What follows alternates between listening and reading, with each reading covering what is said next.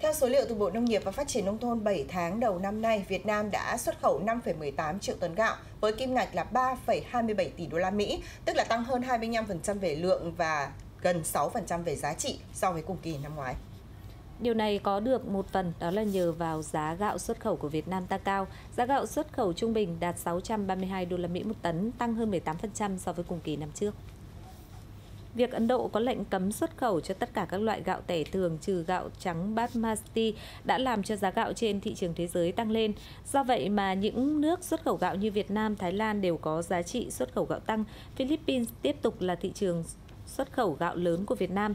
Tại Philippines, Việt Nam hiện chiếm tới 85% thị phần gạo nhập khẩu. Theo dự báo thì sản xuất lúa gạo năm 2024 của nước ta sẽ đạt 43 triệu tấn, đảm bảo nhu cầu trong nước và xuất khẩu thu về hơn 5 tỷ đô la Mỹ.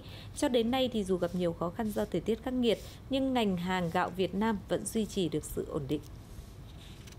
Những ngày này, nông dân ở nhiều địa phương đồng bằng sông Cửu Long như là Long An, Đồng Tháp, An Giang đã bước vào vụ thu hoạch lúa hè thu năm 2024 với niềm vui lớn bởi ngoài sản lượng lúa tăng, năm nay bà con còn có thêm thu nhập nhờ bán được rơm dạ khô cho thương lái. Nhiều nông dân cho biết năng suất vụ hè thu năm nay cao hơn cùng kỳ năm ngoái nhờ canh tác đúng kỹ thuật. Với giá lúa 7.000 đồng một kg, trừ chi phí trồng trọt, lợi nhuận đạt hơn 20 triệu đồng một hecta. Ngoài bán lúa, vụ hè thu 2024, nhiều nông dân trong khu vực có thêm thu nhập nhờ bán được dơm khô. Trung bình mỗi hecta lúa sau thu hoạch cho khoảng 170 cuộn dơm, trung bình mỗi cuộn 20 kg. Mỗi cuộn dơm được thương lái mua với giá từ 13 đến 15 nghìn đồng. Việc bán được dơm khô sau thu hoạch lúa không chỉ giúp nông dân tăng thu nhập mà còn góp phần giảm phát thải khí nhà kính. Phần lớn, người trồng lúa có thói quen đốt dơm sau thu hoạch.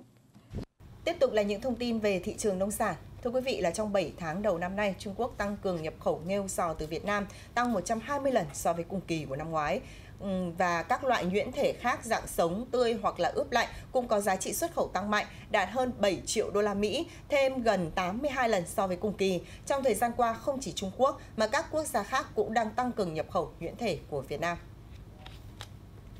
Theo thống kê của Hiệp hội Chế biến và Xuất khẩu Thủy sản Việt Nam VASEP, kim ngạch xuất khẩu nhuyễn thể có vỏ của Việt Nam trong 7 tháng năm 2024 ước đạt hơn 95 triệu đô la Mỹ, tăng hơn 24% so với cùng kỳ năm 2023.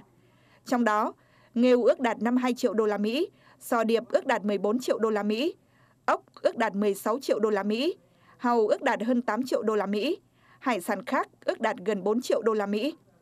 Trong các sản phẩm, xuất khẩu ốc có tỷ lệ tăng trưởng cao nhất so với cùng kỳ năm 2023 hơn 57%. Việt Nam đứng đầu thế giới về sản xuất và xuất khẩu hồ tiêu trong hơn 20 năm qua, chiếm 40% sản lượng thu hoạch và 60% thị phần xuất khẩu của toàn cầu. Thị trường hồ tiêu toàn cầu được định giá là 5,43 tỷ đô la Mỹ một năm, dự báo tăng trưởng trung bình hơn 20% trong giai đoạn 2024-2032. Và bên cạnh diện tích trồng được trong nước thì nước ta cũng đang tăng cường nhập khẩu các mặt hàng này từ nhiều các thị trường nhằm củng cố ngôi vị dẫn đầu thế giới về xuất khẩu. Theo số liệu thống kê sơ bộ của Hiệp hội Hồ tiêu Việt Nam VPA, nhập khẩu hạt tiêu về Việt Nam trong tháng 7 đạt 1.855 tấn với trị giá đạt 10,7 triệu đô la Mỹ, giảm 4,9% so với tháng 6. Tính chung trong 7 tháng đầu năm, Việt Nam đã nhập khẩu 19.557 tấn hồ tiêu các loại với kim ngạch đạt hơn 80,3 triệu đô la Mỹ, tăng 15% về lượng so với cùng kỳ năm 2023.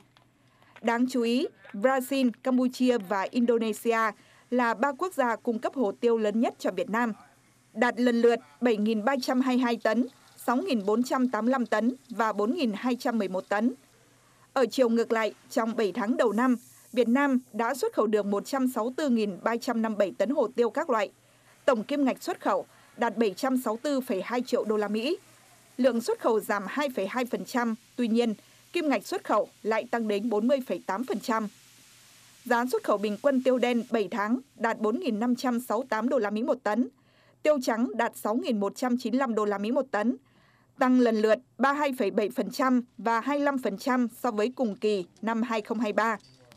Hạt tiêu và gia vị của Việt Nam hiện đã xuất khẩu đi hơn 120 quốc gia và vùng lãnh thổ, chiếm lĩnh nhiều thị trường quan trọng Thưa quý vị, ngành nông nghiệp Việt Nam tiêu thụ 11 đến 12 triệu tấn phân bón mỗi năm, trong đó thì sản xuất là sản phẩm sản xuất ở trong nước là khoảng 8 triệu tấn, còn lại là nhập khẩu vì có những sản phẩm mà Việt Nam chưa thể sản xuất được.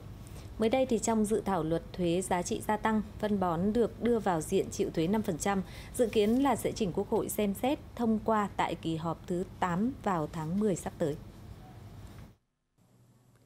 Theo số liệu thống kê sơ bộ của Tổng cục Hải quan, nhập khẩu phân bón về Việt Nam trong tháng 6 năm 2024 đạt 455.858 tấn, trị giá 154,21 triệu đô la Mỹ, giá trung bình 338,3 đô la Mỹ một tấn, giảm 14,3% về lượng, giảm 12,7% về kim ngạch, nhưng tăng 1,9% về giá so với tháng 5 năm 2024 tính trong 6 tháng năm 2024 đạt trên 2,58 triệu tấn, kim ngạch 838,34 triệu đô la Mỹ. Giá trung bình 324,4 đô la Mỹ một tấn, tăng 51,9% về khối lượng, tăng 42,3% về kim ngạch, như giảm 6,3% về giá so với tháng 6 năm 2023.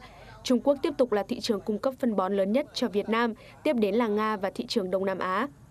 Thưa quý vị, so với cùng kỳ của năm ngoái, dừa khô tại Bến Tre có giá gần gấp đôi, khoảng 110.000 đồng một chục. Theo nhiều nhà vườn tại Bến Tre thì khoảng hơn 3 năm qua giá dừa khô chưa khi nào vượt ngưỡng này ờ, và đang ở mức giá là 100.000 đồng một chục như hiện tại.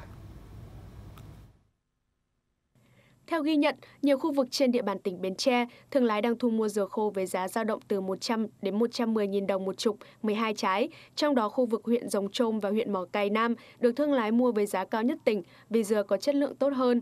Ở những khu vực khác, giá dừa thấp hơn từ 10.000 đến 20.000 đồng một chục.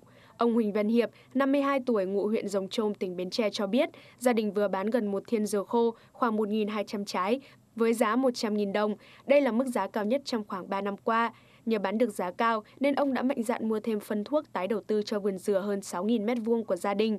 Theo ông Huỳnh Quang Đức, Phó Giám đốc Sở Nông nghiệp và Phát triển Nông thôn tỉnh Bến Tre, hiện ngành nông nghiệp đang tập trung hỗ trợ các doanh nghiệp đăng ký thực hiện mã số vùng trồng để khi có ký kết hiệp định thư chính thức xuất khẩu dừa chính ngạch sang thị trường Trung Quốc, Bến Tre có đủ điều kiện để đáp ứng cho các doanh nghiệp và khi đó giá dừa sẽ ổn định hơn. Toàn tỉnh có hơn 78.000 ha dừa, trong đó chủ yếu dừa khô nguyên liệu. Giá lợn hơi hôm nay ngày 8 tháng 8 năm 2024 tăng giảm trái chiều 1.000 đồng một kg ở cả ba miền Bắc, Trung và Tây Nguyên và miền Nam. Tại khu vực miền Bắc, giá lợn hơi hôm nay tăng nhẹ 1.000 đồng 1 kg và giao dịch trong khoảng 64 đến 66.000 đồng 1 kg. Cụ thể, sau khi tăng một giá, thương lái tại Tuyên Quang đang thu mua lợn hơi với giá là 66.000 đồng 1 kg, ngang bằng với tại Phú Thọ, Bắc Giang, Hưng Yên. Đây được ghi nhận là mức cao nhất khu vực. Thương lái tại Lào Cai, Ninh Bình cũng thu mua lợn ở mức giá là 64.000 đồng 1 kg và đây là mức thấp nhất khu vực. Giá lợn hơi khu vực miền Trung Tây Nguyên 1.000 đồng 1 kg và giao động trong khoảng 61 đến 64.000 đồng 1 kg. Cụ thể là sau khi giảm một giá thương lái ở Đắk Lắk đang thu mua lợn hơi với giá là 61.000 đồng 1 kg, ngang bằng với tại Khánh Hòa, Bình Định, Quảng Trị và ghi nhận đây là mức giá thấp nhất khu vực. Tại khu vực phía Nam thì giá lợn hơi hôm nay giảm giải rác 1.000 đồng ở một vài địa phương và dao động trong khoảng 62 đến 64.000 đồng 1 kg. Sau khi giảm một giá, thương lái tại Tây Ninh, An Giang đang cùng thu mua lợn hơi ở mức giá là 64.000 đồng 1 kg, ngang bằng với tại Bình Phước, Đồng Nai, Bình Dương, Vũng Tàu, Long An, Hậu Giang, Cà Mau, Tiền Giang. Đây là mức giá cao nhất khu vực. Ở chiều ngược lại, sau khi giảm một giá, thương lái tại Vĩnh Long đang thu mua heo hơi ở mức giá là 61.000 đồng một kg và đây là mức giá thấp nhất khu vực.